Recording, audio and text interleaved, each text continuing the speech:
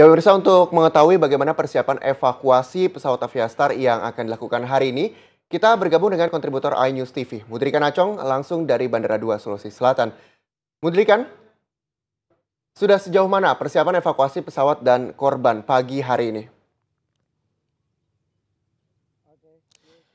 Ya, Reza, dapat kami informasikan dari Bandara Buah ini aktivitas untuk hari ini berkurang dibandingkan dengan hari-hari sebelumnya. Ini karena tim memang sudah bergerak menuju ke lokasi seperti dikonfirmasikan sebelumnya. Ini telah terkonfirmasi bahwa pesawat Aviastar Twin Otter uh, maskapai ini di rute Masamba Makassar ini telah ditemukan pukul 15.20 waktu Indonesia bagian tengah kemarin.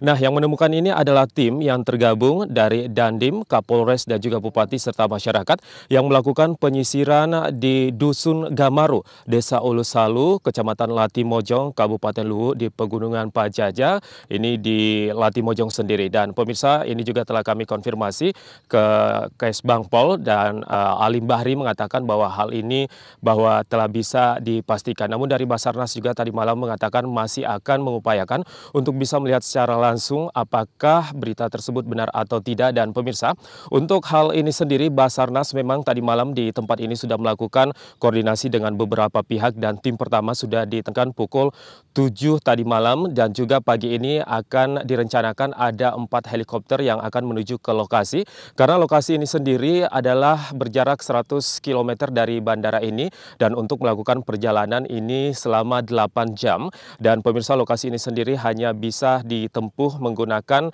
uh, motor trail ataupun menggunakan helikopter.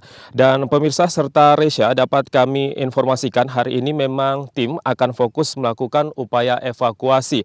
Dan terkait hal ini juga dapat dapat kami kabarkan, ini informasi yang beredar bahwa penumpang dan kru pesawat dikabarkan tewas, tapi kami masih menunggu informasi dari pejabat uh, bersangkutan atau official. Dan informasi yang ada juga bahwa pesawat memotong rute yang telah ditentukan. Hal ini juga sempat dikatakan oleh Menteri Perhubungan Ignatius Johan, hilangnya pesawat Aviastar, salah satunya diduga karena memotong jalur atau rute penerbangan yang ada. Dan pemirsa terkait hal ini memang tim ini memfokuskan di daerah tersebut dan memang dua hari sebelumnya ini Bupati Luwu sudah mencurigai di daerah tersebut. Untuk sementara demikian memang bisa kami laporkan kembali ke studio. Reza.